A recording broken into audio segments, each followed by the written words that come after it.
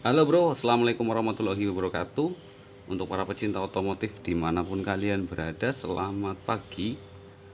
Hari ini saya mau eh, bikin setelan rem ya.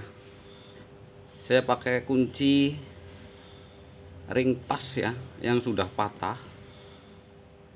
Mau saya bikin setelan rem. Oke, seperti apa prosesnya? Ikutin terus video ini ya bro untuk para driver kita wajib memiliki setelan rem seperti ini untuk dibawa karena penting ya. Apalagi kalau driver-driver jarak jauh ya supir-supir jarak jauh itu biasanya di, di jalan ada kendala rem jadi bisa setel sendiri ya. Oke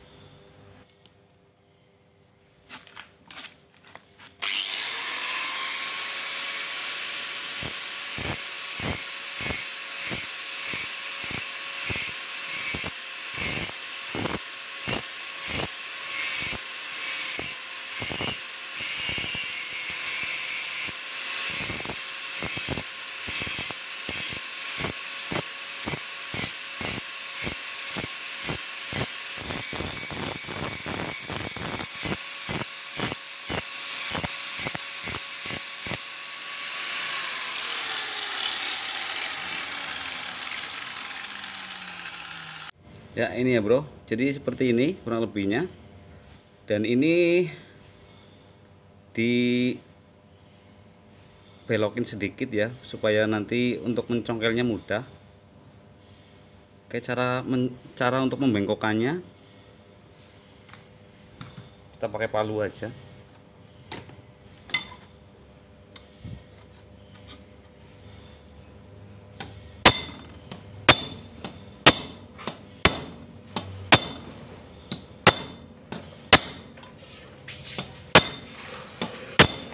Oke bro, setelah dibengkokkan jadinya seperti ini ya. Agak bengkok sedikit seperti ini.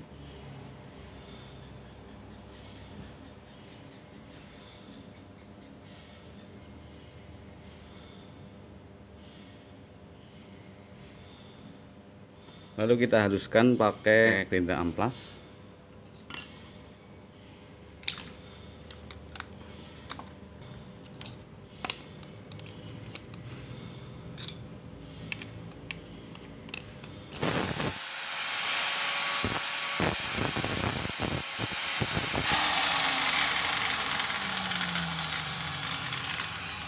Oke bro ini sudah selesai ya. Jadi kurang lebihnya seperti ini untuk setelan remnya. Kita memakai bekas kunci kunci yang sudah patah ya. Kalau saya juga punya dua. Ini pakai baja ya bekas uh, potongan besi baja. Saya juga punya. Jadi saya saranin punya dua setelan rem ya untuk para supir-supir. Kenapa? Karena kita butuh dua yang panjang dan yang pendek. Karena yang pendek itu buat setelan rem yang paling belakang itu biasanya setelannya di atas jadi kita susah ya ada per daunnya itu ya. Jadi saya saranin punya dua yang pendek satu yang panjang. Seperti ini satu.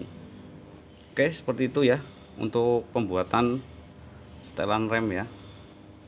Dengan memakai bekas kunci yang sudah patah seperti ini kita bisa memanfaatkan untuk bikin setelan rem. Eh gitu ya bro. Semoga bermanfaat. Wassalamualaikum warahmatullahi wabarakatuh